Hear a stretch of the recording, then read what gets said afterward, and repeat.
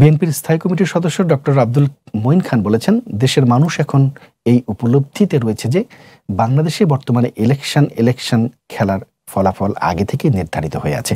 কাজেই খামাকা ভোট কেন্দ্রে গিয়ে নিজের টাইম আর এনার্জি নষ্ট করে কি লাভ?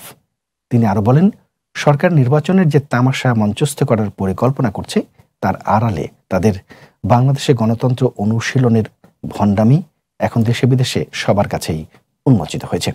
জনগণের এই আন্দোলন অব্যাহত রেখে বাংলাদেশের গণতান্ত্রিক আদর্শকে আবার সমুজ্জ্বল করে বিশ্বে এদেশের আত্মসম্মান নিয়ে মাথা উঁচু করে দাঁড়াবেন তারা। বিএনপির চলমান আন্দোলনের ধারাবাহিকতা নিয়ে বৃহস্পতিবার সাংবাদিকদের কাছে এক প্রতিক্রিয়ায় এসব কথা বলেন তিনি। মঈন খান বলেন, চলমান আন্দোলন হচ্ছে একটি কর্তৃত্ববাদী সরকারের বিরুদ্ধে তৃণমূলের মানুষের প্রাণের আন্দোলন। অন্যদিকে রয়েছে সকল প্রকার rifle, bullet, tear gas grenade নিয়ে সরকারের মারমুখী প্রশাসন, যাকে আবার সহায়তা দিচ্ছে সরকারি দলের সন্ত্রাসী বাহিনী।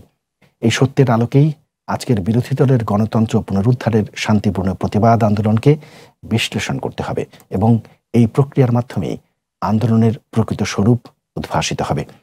পূর্ণ ধৈর্য বজায় রেখে নিয়মতান্ত্রিক আন্দোলনে ক্রমান্বয়ে সামনের দিকে এগিয়ে যাবে তারা।